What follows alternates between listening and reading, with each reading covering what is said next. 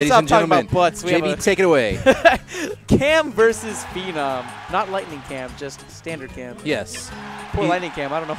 I feel like uh, we got to go pull him out of the Shadow Realm after that round against Larry, man. That was brutal. I, I, I, I looked away for a second Yo, and it, he was it like done. gone.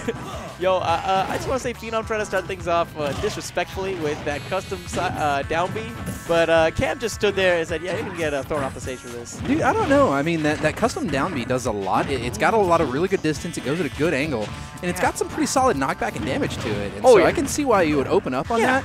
But at the same time, like playing the most hardcore rushdown you can against a Sheik doesn't sound like the best option. Ooh, and he tried to go for the side B, but Cam was quick on the grab, got it out before the side B could actually be active. Ooh. Ooh, whoa. Whoa, yeah, that was rough stuff.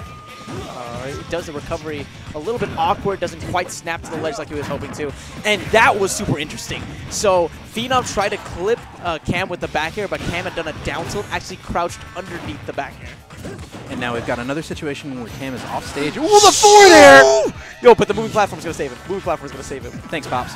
Oh, that Ganon, man. Something tells me that Sheik is going to lose the forward air war here. Oh, that down B. See, I told you. It actually worked out, yeah. It- It's at an awkward angle, and it's something that a lot of players are not used to, given that this is the third rendition of Ganondorf.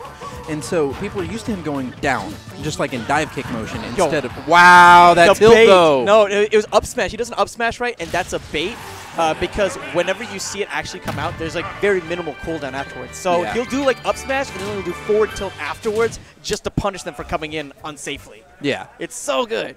Well, um, let's see where Cam ends up taking him, because that was a pretty solid victory by Phenom. Yeah. And I don't think he's trying to necessarily disrespect on people or anything Oh, it's true. like it's, that. it's true. It's true. But No. it, it, it, then again, Phenom, I mean, it's just like I, I you can't not associate Ganondorf with like respectful. Like there's no like you, you invite Ganon over to your house, like he's not gonna take his shoes off or anything like that. You know what I mean? Yeah. He's, gonna he's gonna eat your food and then just just you know pop his dirty feet on the couch. it's gonna be bad, man. You can't see anything, man. He's- Yeah, yeah, Typo's right. You can't see anything. He's got the Triforce of power. It's power over wisdom right now. Yo, and he's he has a good tech read there with the after the side B going for that dash attack to get the pop up. Yo, that down, that side B was actually really good. A good spot dodge by Cam to get out of the way. Neutral airs to get out of a bad position. Cam is there. We go. Cam has a little momentum on his side. Ooh, good timing on that down air. Most people would have fastballed that. Ooh, gets him with the back part of that up air. Maybe an edge guard opportunity? No, ends up uh, letting him snap back to the edge. Good patience. He knew that the fair was coming. Waits and shield gets the grab afterwards. That forward air was actually.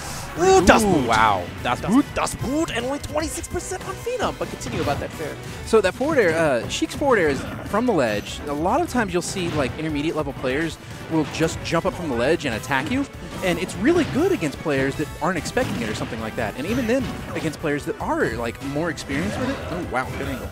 Then they will still get caught by it from time to time.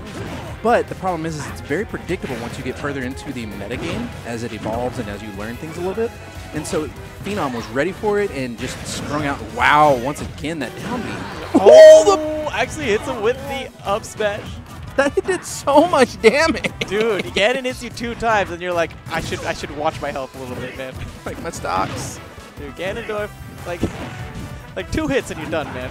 It's bad, man. It's, it's like, That's- jeez. wow, out and down. Yo, can we see some disrespect? No, he's play he's playing it safe. I, I can appreciate that, man. Me, I'm a, I'm a pretty spiteful Ganondorf, man. Like, oh, I thought we were, I, I, I was ready for it. I was ready for it. But you'll notice that sometimes whenever he has uh, Cam off stage, he'll just run off and just get the fair. Yes.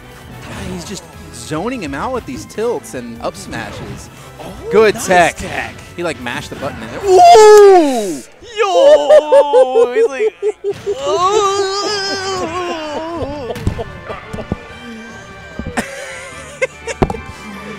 Tries to go for the bouncing fish, ends up getting knocked, or ends up getting hit by a pretty powerfully charged up smash by Ganondorf. Phenom taking that set 2-0 over Cam. oh,